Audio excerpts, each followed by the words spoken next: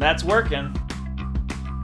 Hello everyone, my name is Mike. My wife and I are the founders of Snoofy Bee, and we have six kids together. Today, I want to share with you guys five dad hacks to help you bond with your new baby. Dad hack number one, try to call dibs on burping as often as you can. The best way that I've found to burp is to set them on your knee, lean them forward, support their chest with this part of your hand, and support their chin gently with your thumb and your front finger, and then just pat really lightly on their back. Dad hack number two.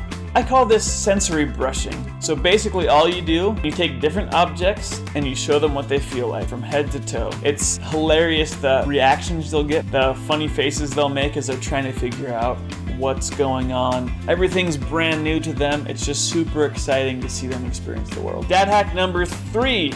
This is the most horrible of the dad hacks, but it's also very important, of course. Call dibs on diaper time.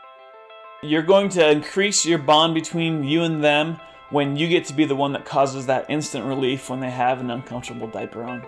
Shameless plug here, we are the creators of the Clean Hands Changing Pad. It helps a lot with diaper time, especially once your child is three to four months old uh, and they start getting curious as to what's going on there. I will do another video about the best practices for diaper time. Dad hack number four, this one I like to call rock and roll. What you want to do is just lay them gently on their back, grab them by the feet, and move their legs back and forth.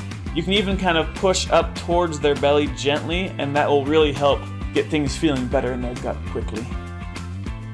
Dad hack number five, and this is probably one of the most important ones. You want to show your child how to make D sounds as often as you possibly can.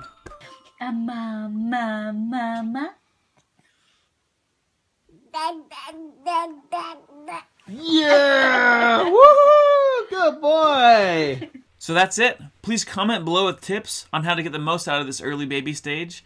We all know it goes by so dang fast. Also, be sure to like us on Facebook, follow us on Instagram, and subscribe on YouTube. Thanks.